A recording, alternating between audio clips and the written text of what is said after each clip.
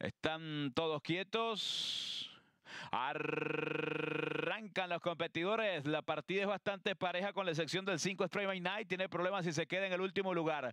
Hoy salta en punta Power Walker. Ataca por el centro Flow Motion. Se acomoda en el segundo lugar. En el tercero Great Dew. En el cuarto por la parte central de la cancha aparece de Queen Jewel. Junto a él viene apareciendo Majesty Luna. Más atrás intenta meterse en la pelea el ejemplar Filo. Junto al número 10 el ejemplar Dalarna. Luego se viene quedando Low Ness por la parte interna. Junto a él viene apareciendo el 9 Mission Driven. Más atrás aparece el 12 el ejemplar Son Wahoo y se ha quedado el ejemplar Canto Green junto a Streaming Night en los últimos lugares. 22-4 el parcial para los primeros 400 metros. El 7 Power Walker está en punta con Emisael Jaramillo. Ventaja de un cuerpo sobre el Flow Motion que lo persigue. Está en el segundo lugar. En el tercero aparece de Queen Jule. En el cuarto por dentro Great Dew. En el quinto intenta meterse Majesty Luna por el centro. En el sexto hace lo propio el ejemplar Filo. Más atrás viene intentando meterse Dalarna por la parte externa junto al ejemplar Launés. Luego mejora por el centro Streaming Night dejando los últimos lugares a Son Wahoo y a Contron Que está en los últimos lugares junto a Mission Driven. 47-1, parcial cómodo de competencia. Domina el ejemplar Power Worker, lo busca por fuera Motion que trata de buscarlo y está solamente el pescuezo.